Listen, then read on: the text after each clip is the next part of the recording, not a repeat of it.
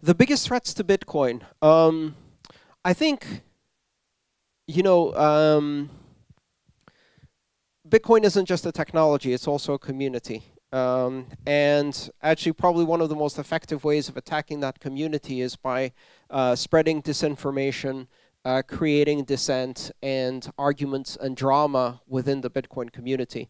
And I would be very surprised if Bitcoin is the first community that is an activist grassroots community that is not fully, fully infiltrated by a whole bunch of intelligence services and corporate spies and bullshit artists who are trying to cause problems. Why?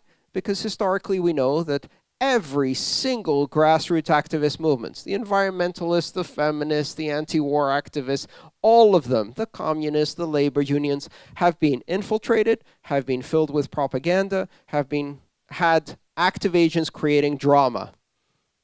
Reddit, I'm talking about you. Um, so my advice is focus on the technology. The technology is real. The drama isn't real. It's completely fake. Some of it is just idiots. Some of it is paid people who are doing this as a job. And I try to pay as little attention to the drama as possible. That's one of the risks for Bitcoin. Fragmentation in the community slows things down.